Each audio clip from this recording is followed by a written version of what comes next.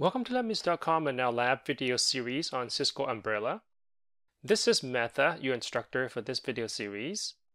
For a complete list of Umbrella videos, you can visit our website under security section.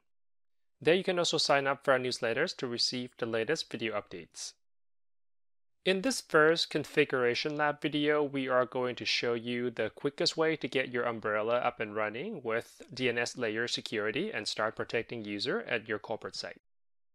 Let's take a look at our lab setup. We have a Windows 2019 domain controller, DNS and certificate authority server, the IP of 172.1632.40 sitting on our server VLAN, VLAN 32.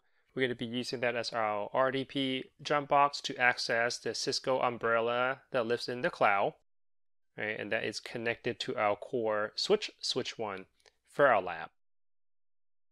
In order to get to the internet, it has to go through that core switch and our internet firewall called HQ Firewall 1, which is a firepower device. We'll get NATed out right, in order to get to the internet. So all of these setups can be considered as our lab minutes headquarter. Now the site that we are going to be dealing with and protecting with the Cisco umbrella in this video is a site called BR1, which has its own local internet router called LMBR1R1 and a slash 24 local subnet of 172.17.1.0. We have one test machine connected to that subnet. They will be performing all of our testing on. It's a Windows 10 test machine called Win10 Test 1. A very basic setup as you can see. So when that machine needs to get out to the internet, it has to pass through that router, get NATed, and exit out to the internet. So goal here is to protect our user at BR1 site using Cisco Umbrella DNS Security. Before we get started here, we are going to assume that you already have either obtained the appropriate Umbrella license or sign up for a free trial account, which is a very easy thing to do. You also have determined the part of your corporate network or sites that you would like to protect. Like I said, in our case, is our BR1 site. The first step that we need to do here is to tell Umbrella which public IP address that your user DNS traffic will be coming from. So Umbrella can correctly identify the traffic as belonging to your organization and hence match it to the correct security policy. This is the most basic form of identity known as network because you're using the network public IP address as your identity.